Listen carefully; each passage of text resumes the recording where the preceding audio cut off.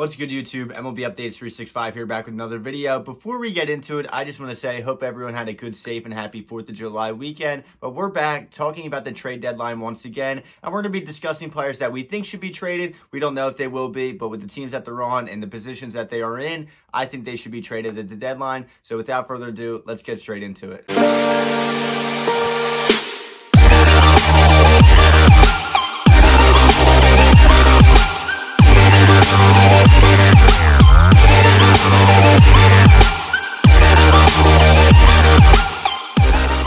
So first up, we have Joey Gallo, the Texas Rangers, who are currently in last place in the AL West division. At 27 years old, he could be a long-term piece moving forward, but I think it's in their best interest to trade him right now. Over the month of June, he slashed 284, 447, 695, and had seven homers in his last seven games. He has two years of control left and can play multiple positions. Texas could sell high, improve the farm system as well.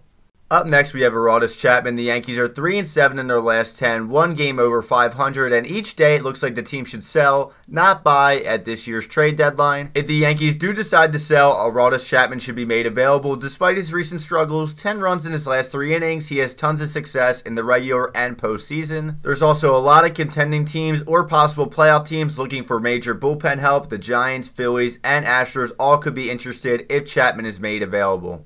Sticking with the relievers here, up next we have Craig Kimbrel. The Cubs are 42 and 42 entering today. They've lost nine straight ball games. They say they aren't going to sell, but they should sell, and they should make Craig Kimbrel available. He's a free agent at the end of the year and has been dominant, posting a 0.59 ERA, converting 20 out of 22 save opportunities. It's a long shot, but the Braves are 40 and 42, have one of the worst bullpens in baseball. Imagine a reunion between these two. Moving on over to the AL Central, up next we have Danny Duffy of the Royals, who spent his entire 11 year career in Kansas City. He's the longest tenured player there, but trading him right now makes sense. He's a free agent after the season, and he's been very good in 2021 2.60 ERA and 11 starts. I could see the Boston Red Sox as a potential landing spot for him. Staying in the AL Central Division, Josh Donaldson of the Minnesota Twins is another player that I think should be traded at the deadline if the Twins are able to do so. Trading Donaldson might be hard as he is owed 52 million over the next two and a half seasons, and I can't really think of a team that's in the market for a third baseman. He's still a good offensive player. The Twins are in last place in the AL Central. If they could eat up some of his contract and get that deal off their future payroll, I think that would be a success for them. Next up, we have Kyle Gibson of the Texas Rangers. The starting pitching market is very thin at this year's trading deadline. The Rangers should sell high on him as he is 6 0 with a 1.98 ERA on the year. The Rangers aren't going to win anything with or without him there. Gibson is only owed $8 million next season, which is very cheap, and by trading him, they continue to improve the farm system that is very bad.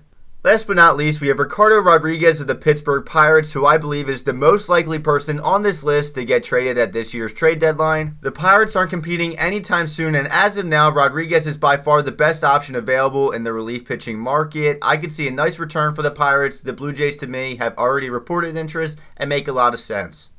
And that is going to wrap up the video. Let us know down below, do you think these guys are going to be traded? And if so, where? I'd love to hear what you guys have to say. As always, if you have any other video suggestions, make sure to leave that down below in the comments. If you enjoyed today's video, make sure to leave a like. And if you haven't already, to hit that subscribe button. Hope you guys have a good rest of your day, though, and I'll see you in the next video.